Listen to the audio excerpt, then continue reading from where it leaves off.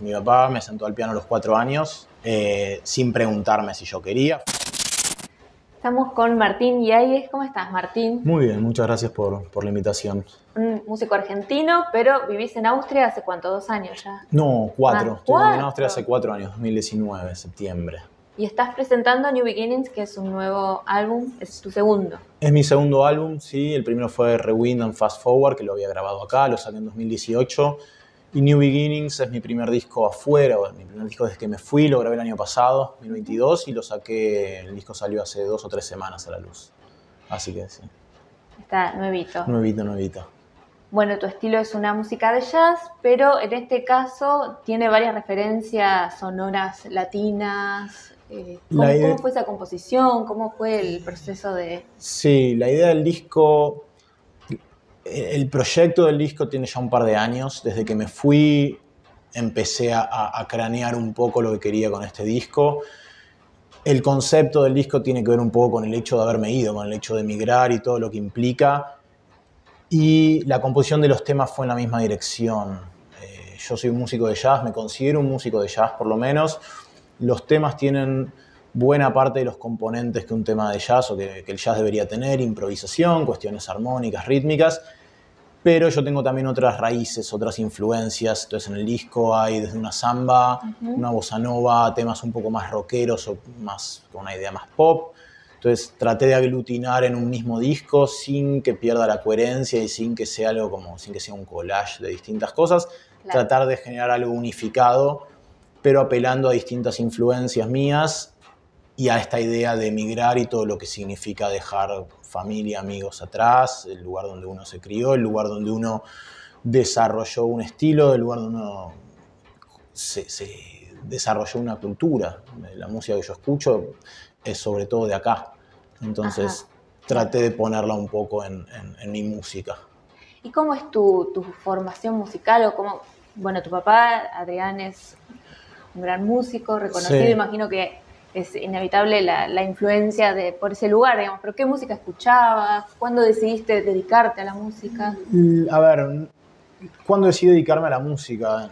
Eh, lo decidí, tendría 16, 17 años, pero viene todo de mucho antes. Mi papá me sentó al piano a los 4 años, eh, sin preguntarme si yo quería, fue como me sentó al piano. Después mi abuela también es profesora de piano, entonces esto, a esa edad uno medio que no se cuestiona muchas cosas, uno no cuestiona muchas cosas, a uno le dicen hace esto, uno lo hace. Entonces desde los 4 hasta los 11, 12 años toqué el piano, después ya más de adolescente o entrando en la adolescencia me picó el bichito de la guitarra porque era por la música que yo escuchaba, que era mayoritariamente rock.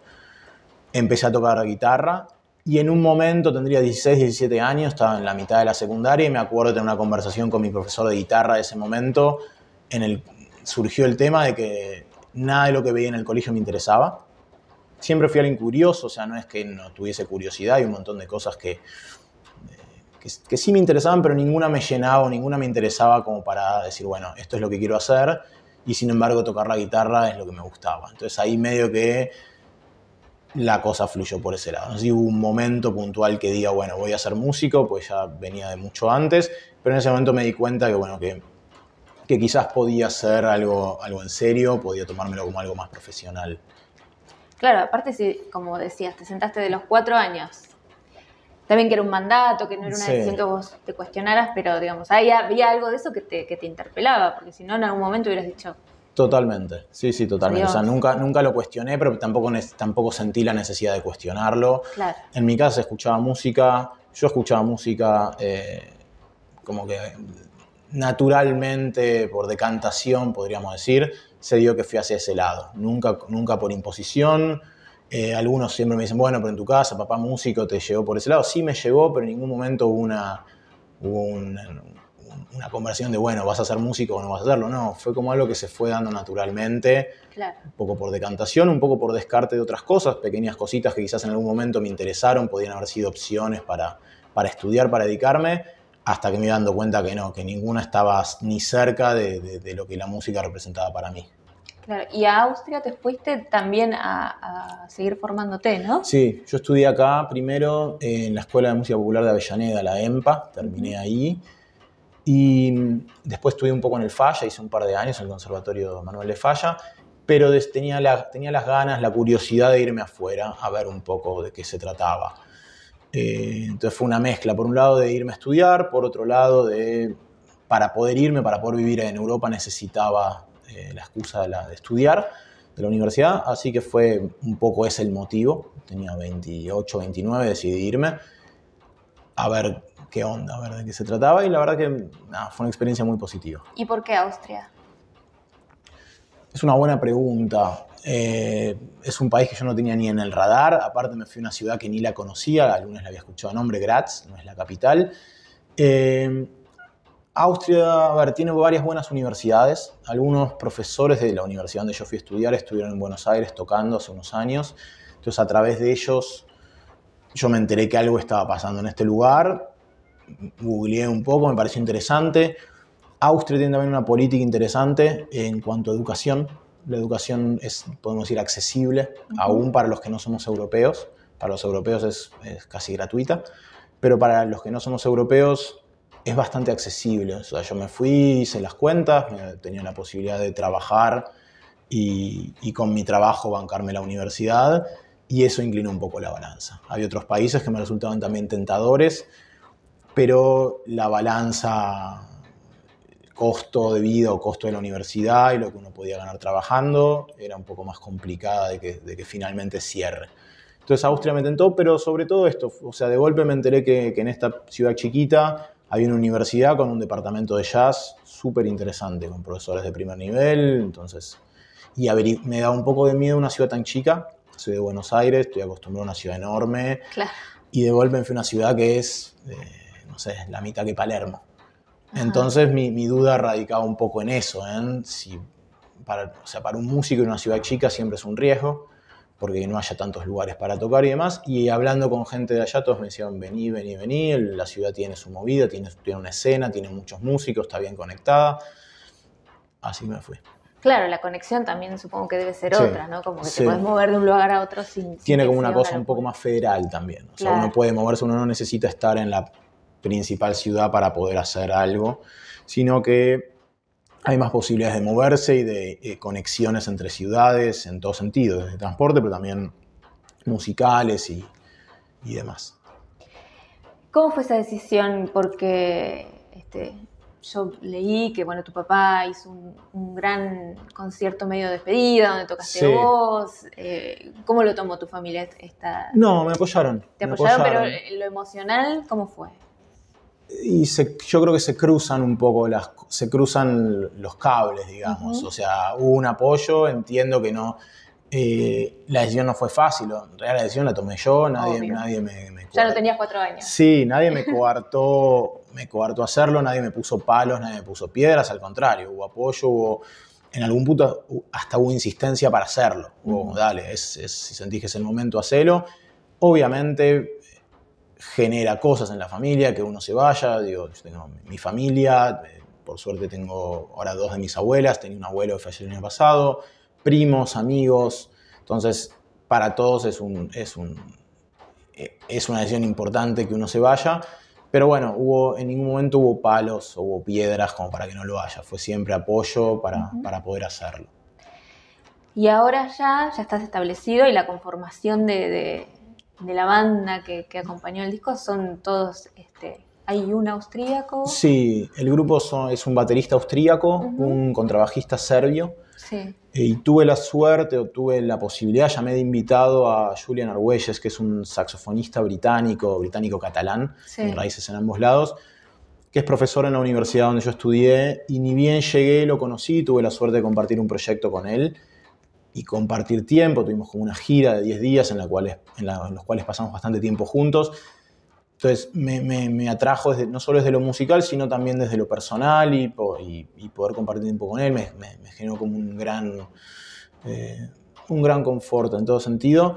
Y cuando, cuando ya empecé a producir el disco, cuando empecé a poner fechas y a decidir algunas cosas con respecto al disco, decidí llamarlo, tenía como un poco de miedo, un poco de, de expectativa, si me iba a decir que sí o si me iba a decir, che, no, la verdad es que no tengo ganas, no me interesa. Y me respondió enseguida, me dijo, sí, dale, hagámoslo. De hecho, la idea era que él grabase dos o tres temas, que yo se lo pedí, que fue como decir, bueno, le pido, pero poquito. Claro. Y me contestó que sí, pero que él quería grabar todo el disco, que si no, no le interesaba. Entonces, sí, sí, sí. Así que nada, contamos con, con, él, en el disco, que nada, es un, ser de los músicos europeos más importantes de los últimos 30 años, es un referente en la escena británica, grabó con nada, muchos de los tipos que son, de los músicos que son eh, referencias, mis ídolos. Eh, Carla Blake, Kenny Wheeler, Dave Holland, Steve Swallow, toda gente que yo escuché mucho, que escucho mucho, de la cual tomé mucho, y de golpe compartir tiempo con alguien que grabó con ellos y que compartió tiempo, es también una forma de esta idea de los, de los grados de separación, si se quiere. Uno empieza a tomar cositas y por anécdotas, por historias, bueno, uno se siente quizás hasta más conectado con gente a la que admira, con, con, referentes musicales. No estaba ya. No era tan lejos. De golpe, esto, hay dos grados de separación, tres grados de separación, que, que, que parece algo súper simbólico, pero después cuando uno lo está haciendo genera como algo más. Es otra la motivación, uno se siente un poco más. Eh, uno siente, va, por lo menos me pasó a mí, sentir otra responsabilidad. Claro, viene con una responsabilidad, ese reconocimiento. sí. Tal cual, tal cual, tal cual. Y también en el disco eh, hay referencias a, a otra persona que, que admirás, este, que le dedicaste un último tema, que, que, falleció, que es Pat Martino. Pat Martino. ¿Por qué decidiste este, mencionarlo y dedicarle una canción? Sí, eh, a ver, un poco también lo que digo en, las notas del disco sobre este tema. Tengo, tengo serias dudas de que a él le hubiese gustado el tema o de que él lo hubiese eh, tomado como un, como un tributo a él. Lo cierto es que el tema, yo me desperté un día y lo primero que leí era la noticia de que él había fallecido. Fue uno de los músicos por los cuales yo me decidí a tocar jazz. Es uno de los, como es una de las grandes leyendas de la guitarra, una de las grandes leyendas de la guitarra jazz. Es como, sí, probablemente es como el, héroe de la guitarra jazz. Y me levanté con esa noticia y yo ahora estaba en un momento en el cual tenía el hábito de escribir por lo menos una canción, va, por lo menos no, escribir una canción por día. en ese momento mi rutina de estudio, mi, mi práctica consistía en eso, levantarme, agarrar la guitarra y escribir algo. Largo, corto, mayor complejidad, menor complejidad.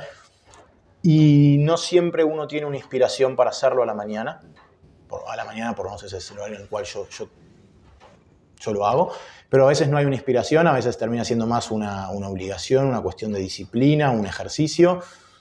Pero bueno, acá me levanté y la inspiración fue esa, fue el, sentimiento de tristeza por la pérdida de, esto, de un ídolo.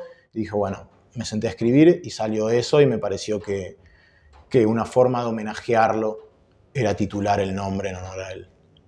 Claro. Bueno, no sabremos, pero no importa. Este, ya que, empiece a circular, que alguien diga, bueno, ¿quién es? Y lo vaya a escuchar, a veces, muchas veces. Sí, sí, sí. Es esa la, es, es, una de las grandes leyendas de, la guitarra jazz. Eh, bueno, y ahora, ¿en qué estás? Ahora que estás cerrando ya este, esta visita, eh, esta presentación, ¿tenés idea de, seguir haciéndola circular? La idea es presentar el disco la próxima vez que venga a Argentina. Esta vez por temas personales y de agenda y demás no pude hacerlo, pero me gustaría presentar el disco en Argentina. Hubo un, hay una idea de traer el grupo a tocar acá. Es un poco complicado por un montón de motivos, financieros, agendas. No es tan fácil, pero me encantaría poder traer ese grupo acá. Eh, yo igualmente siempre que vengo trato de tocar, tengo mi grupo de acá de Argentina, los músicos con los que venía tocando antes de irme y ese grupo lo mantengo y, trato de mantenerlo activo. Pero la idea es presentar el disco, seguramente sea el año que viene acá. Y mientras tanto tengo otros proyectos, otros grupos, o sea, sigo con eso, trato siempre de no mantenerme con un, con un solo proyecto al mismo tiempo. Me resulta, me resulta cómodo y desafiante poder diversificar un poco, poder darle descanso a algunos grupos. Tengo ahora un cuarteto, eh, estuvimos muy metidos ensayando para el disco, grabando la música, tocando bastante. Decir, bueno, darles un poco de descanso, me parece que está bueno también hasta para, para, los vínculos, no estar exprimiendo a los colegas tanto, decir, bueno, vamos con otro proyecto, dejo descansar, que la música descanse un poco, volver a tocar la música, los mismos temas que grabamos, pero de golpe, un año después o seis, siete meses después, genera otra motivación, otro entusiasmo. Entonces, en ahora este grupo, digamos que estamos, estoy, lo, tengo, lo tengo descansando mientras sale el disco. pero con la idea de que el año que viene poder presentarlo tanto acá como en Europa. ¿Y de qué extrañas cuando estás en Austria? ¿Qué extrañas de acá? Y cuando estás acá, ¿qué es lo que extrañas de allá? Buena pregunta. Eh, a ver, allá lo que más extraño es la familia y los amigos. Austria es un país que tiene un montón de cosas que están buenísimas, pero es un país frío en varios de los sentidos de la palabra. No solo el clima, es también frío en las relaciones. Uno viene acá, aparte que es el, lugar donde me crié, eh, entonces acá conozco mucha gente, o tengo, puedo, decir que tengo un buen grupo de amigos, no, soy, no son un millón, pero tengo un, grupo de amigos sólido. Entonces vengo y, y, la paso bien y tengo con quien hacer cosas y eso es lo que más extraña. Sí. Después que se extraña acá, o estando acá de Austria, eh, la respuesta cliché sería el orden. Sería el orden, sería la previsibilidad, sería la tranquilidad, sería, eh, sí, la seguridad, si se quiere. Esto, yo vivo en una ciudad chica allá, es realmente chica, una ciudad donde me muevo en bicicleta, donde yo prácticamente no uso el transporte público, que lo hay, no lo uso, no lo necesito, me muevo en bicicleta, salvo excepciones puedo volver a la hora que sea, por donde sea. Eh, mi novia puede volver a la hora que sea, por donde sea, sola, sin ningún problema. ¿Es tu esposa ya? Pues es mi esposa ya, sí.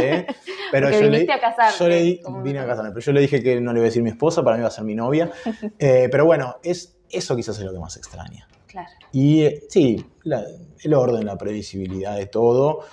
en todo sentido, también para, para hacer música también tiene algunas ventajas tiene algunas ventajas. Eh, pero bueno, pero yo nací acá y yo digo, yo, esto para mí es el terreno conocido, entonces de algún modo, si bien el tiempo de estar afuera te, cambia la percepción sobre muchas cosas, y también es cierto que los últimos años, que justo desde que me fui, con la pandemia y todo, muchas dinámicas cambiaron. Yo estoy acostumbrado a esto, conozco, aún en el desorden me muevo con cierta comodidad. Claro. Probablemente para alguien que vive hace el camino inverso, que viene desde allá para acá, esto debe ser completamente caótico, imposible de sostener y, entendería que alguien se, queme y no, y no pueda. Pero bueno, para uno que, se crió acá, que, nació en este gran caos que es, sé, que es Argentina, que es Buenos Aires en sí, que ruido, que gente, que transporte, que, que quilombo, no está tan mal. O sea, digo, es, algo que, estoy acostumbrado a hacerlo. Pero sí, vengo cada tanto y cuando vengo necesito un par de días de reacostumbrarme. De reacelerar. sí, algunas dinámicas, no sé, cómo cruzar la, desde cómo cruzar la calle, por ejemplo. Esa sería la gran diferencia, sí, sí, sí. Bueno, Martín, te agradezco mucho que hayas venido Gracias a vos por la invitación. esta charla y bueno, a escucharte en cualquier este, en YouTube, en todos lados está tu, tu material. Muchísimas gracias por la invitación.